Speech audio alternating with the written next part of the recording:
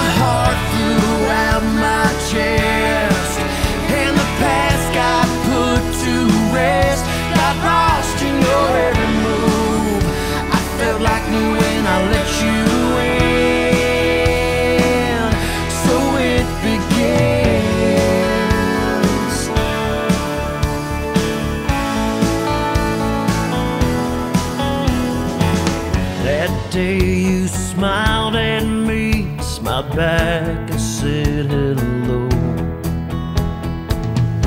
We talked non-stop for hours, almost like I met you before. I told